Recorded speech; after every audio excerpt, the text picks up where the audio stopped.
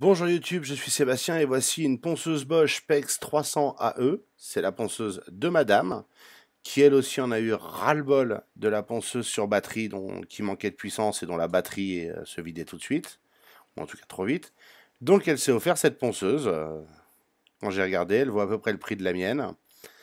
Il euh, n'y a pas à tergiverser, hein. oui elle a un fil, elle est clairement mieux.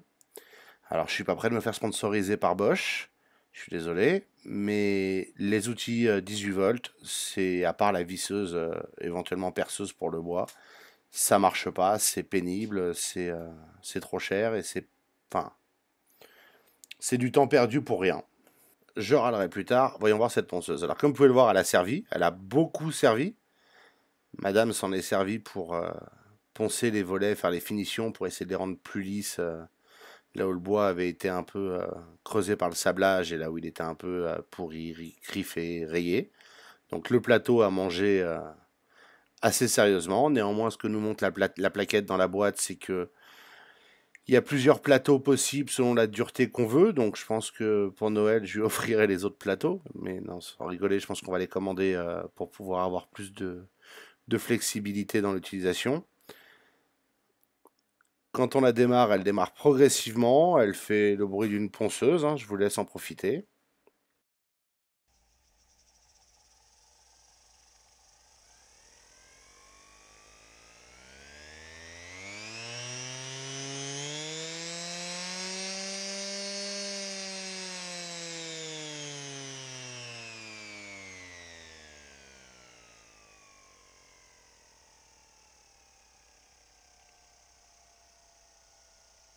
J'avoue ne pas bien comprendre l'utilité de la puissance 1, mais c'est peut-être pour euh, des matériaux euh, soit très durs, soit très tendres, et avec des papiers très fins, ce qui fait que ça aura un impact, parce que sinon ça, ça accroche et c'est la ponceuse qui tourne et pas le plateau. Donc, euh. Mais dans l'absolu, en termes de poids, elle est équivalente à la Bosch 18 volts, donc le poids des batteries veut dire qu'on a moins de poids euh, dans la ponceuse, dans le corps de la ponceuse. Et en taille, elle est à peu près similaire.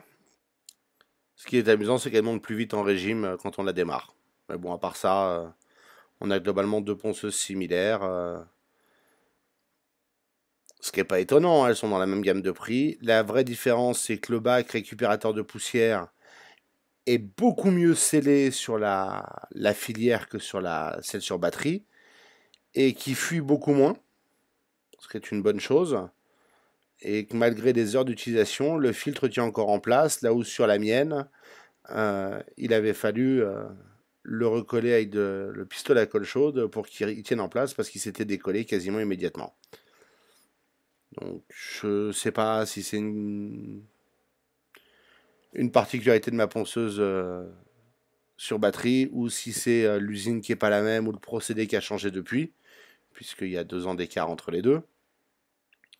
Mais clairement, ce bac est beaucoup plus étanche. Il est aussi beaucoup plus, beaucoup plus dur à fermer et à ouvrir, à tel point que s'il est plein de poussière, euh, il est très difficile de l'ouvrir sans en mettre à côté. Ça, c'est un peu dommage. En termes de disques, euh, on a acheté des disques avec euh, Bosch, comme ça on, on, en a eu une cinquantaine pour le prix de 10 ou 15 dans un magasin de bricolage. Et voilà l'utilisation.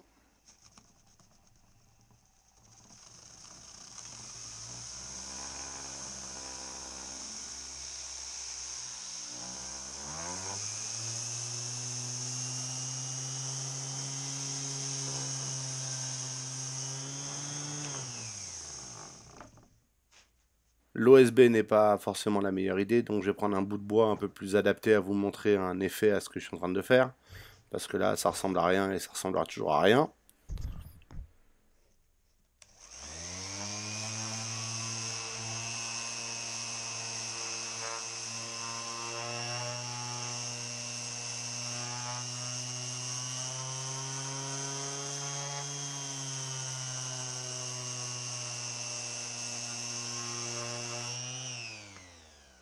Là, vous voyez bien qu'elle est... Euh, quelle est l'efficacité. Enfin, le avant-après est assez flagrant sur la, texture du bois et le rendu. Moralité, c'est une très bonne ponceuse. Euh, elle n'a pas coûté plus cher qu'une avec batterie. Il n'y a pas besoin d'acheter qu'une avec batterie, mais livrée sans batterie plutôt. Euh, il n'y a pas besoin de chargeur, il n'y a pas besoin de recharger les batteries. Elle marche tout le temps, on peut la brancher et s'en servir pendant des heures. C'est quand même pas rien. Et je la trouve plus douce à utiliser que celle sur euh, batterie, dans le sens où elle embarque moins. Peut-être une façon dont le moteur, le type de moteur ou j'en sais rien, mais elle a moins l'air d'embarquer. Et autre avantage, celle-ci est livrée avec une boîte de transport et de rangement, dans laquelle il y a largement la place de mettre le fil sans s'embêter. Hein, on peut le mettre en vrac dedans, comme vous voyez faire. Et il y a même la place d'y ranger des disques de ponçage, ce que je trouve assez euh, malin comme concept. Vous voir que là, il y a deux paquets de disques. Je les mets dedans. Bon, faut que je range le petit bout de plastique euh, qui traîne. Je m'en aperçois toujours trop tard. Il suffit de les tenir serrés et on peut fermer et on a un ensemble complet. Et tout ça, je ne l'avais pas avec celle sur batterie. Elle est livrée dans une boîte en carton et il n'y a rien pour la ranger. Et il n'y a pas non plus les batteries. Donc euh, voilà, j'aurais jamais dû acheter celle sur batterie. Euh, j'aurais dû acheter une filière directement. Pour que madame craque, c'est clairement qu'il y a un problème. Donc on en revient je recommande pas les outils 18 volts au-delà de la perceuse visseuse. Merci d'avoir suivi cette vidéo. J'espère qu'elle vous intéressera. Si c'est le cas, pensez à vous abonner et à la liker. Et puis si vous avez des questions ou des remarques, les commentaires sont là pour ça. Si jamais Bosch vous voulez me sponsoriser, je suis d'accord et je suis désolé de ne pas aimer les 18 volts.